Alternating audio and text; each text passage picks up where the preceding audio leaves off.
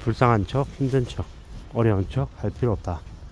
뭐 힘들고 어렵고 답답하고 뭐 곤욕스러운 거 이런 것들은 누구나 다 느끼는 감정들이다라는 겁니다. 정도가 좀 더 클 수도 있고 적을 수 있을 뿐 뭐 각자에게 이렇게 느껴지는 모습들, 생각들, 감정들은 비슷하다.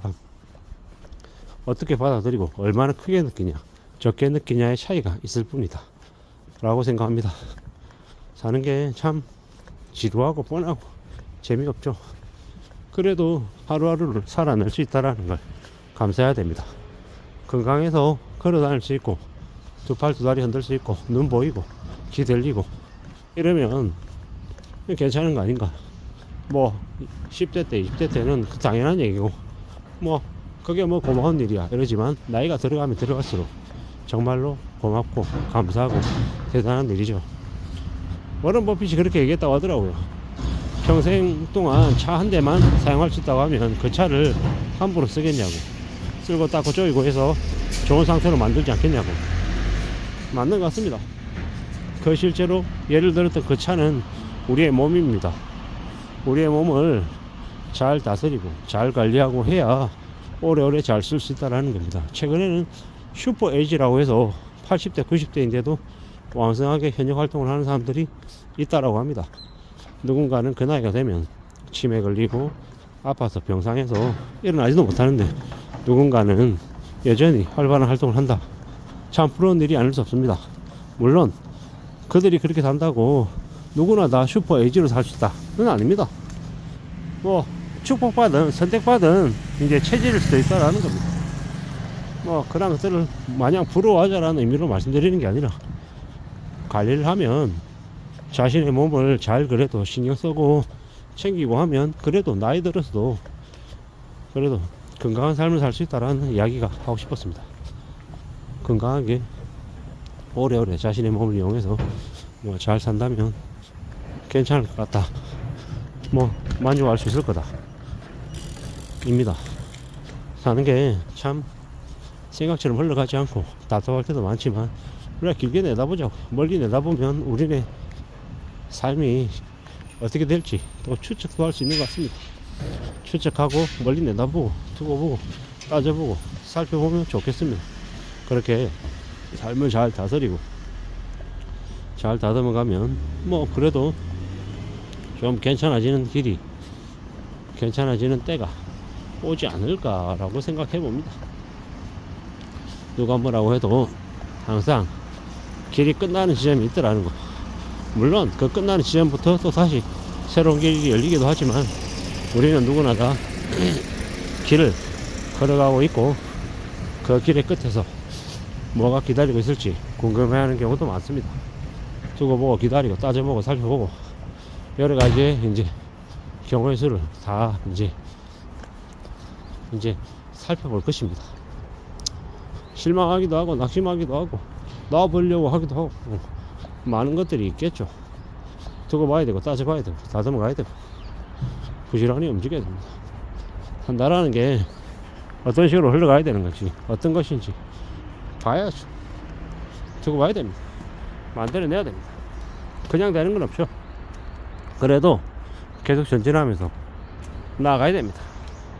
전진하고 포기하지 않고 앞으로 계속 움직이는 사람에게는 이제 조금씩 더 괜찮아지는 때가 당연히 옵니다. 당연히 온다라는 거죠. 그런 것들을 맞이하며 살아야죠. 우리가 사는 삶이 마냥 아무 짓도 하지 않았는데 그냥 좋아지는 것도 없고 반대로 좋지 못한 행동들을 계속 했는데 그게 그냥 아무렇지도 않게 그냥 넘어가지도 않는다라는 겁니다.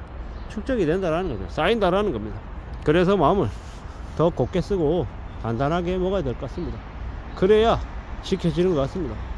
사는 게 뭐 내 뜻하고 내 생각하고 많이 다르게 움직일 수도 있다라는 거 받아들여야죠. 인정해야죠. 그래야 될 것 같습니다.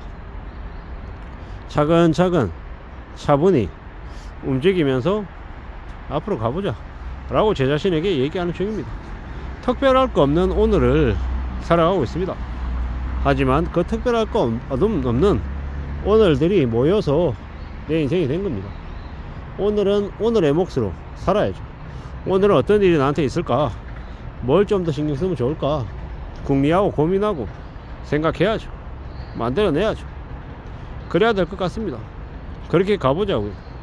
부지런히 차근차근 전진하면서 만들어 가자라고 이야기하고 싶습니다 가봐야죠. 다듬어야죠. 움직여야죠. 결국에는 궁극적으로는 내가 다 가져간다라는 거죠. 지금 이렇게 살고 있는데 앞으로 또 좀 더 기다려야죠. 많은 것들을 가져가야죠.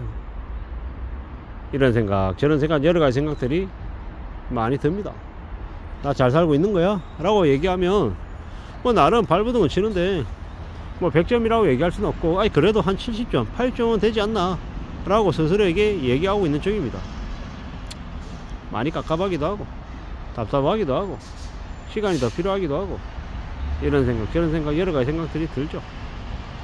어느덧 시간이 이만큼 왔습니다. 또 두고 봐야죠. 기다려야죠. 오늘은 오늘의 삶을 사는 거고 내일은 또 내일의 삶을 사는 거고 기다리고 두고 보고 따져보고 여러모로 움직여야겠다. 라는 겁니다. 잘 생각하고 잘 움직여야죠. 차근 차근 차근. 한 걸음 두 걸음. 앞으로 더 나아가야죠. 오늘은 또 오늘의 모습을 이제 맞이해야 되는 거고 내일은 또 내일의 모습이 있는 거고. 누가 뭐라고 해도 뭐 내가 사는 삶인 거고 남들이 소, 뭐 손가락질 하든 비아냥거리든 업신여기든 가스라이팅을 하든 최대한 그런 것에 휘둘리지 않고 삶을 또 살아내야죠. 그래야 되겠다라고 마음을 먹고 있습니다. 가봐야죠. 앞으로 더 단단하게 움직여야죠. 그래야 될 것 같습니다. 그렇게 움직여야죠. 차근차근 부지런히 나아가야죠. 뭐 잘 따져봐야 될 것 같습니다. 잘 만들어 가야 될 것 같습니다. 세상에 그냥 되는 건 없는 거고 시간이 걸리고 또 두고 봐야 되는 거고 이런 생각 저런 생각 여러 가지 생각들이 있을 텐데 따져봐야죠. 살펴야죠. 두고 봐야죠. 마음을 단단히 먹으면서 움직여 가야죠. 그래야 될 것 같습니다. 가봐야죠. 답답하고 힘이 들고 앞이 안 열리는 것 같아도 안 보이는 것 같아도 그럼에도 불구하고 전진하고 또 채워나가고 챙겨야 될 것 같습니다. 그럴 때 삶이 조금이나마 아주 조금이라도 뭐 나아지는 게 아닐까 라고 생각해 봅니다. 우리가 사는 삶이 참 안 쉽고 어렵고 만만하고 걱정이 많이 되죠. 그럴수록 더욱더 건강 챙기고 지금 당장 내가 할 수 있는 게 뭔지 아주 작은 것부터 시작하는 게 좋을 것 같습니다. 그래야 많은 것들을 할 수 있지 않겠냐 라고 생각합니다. 감사합니다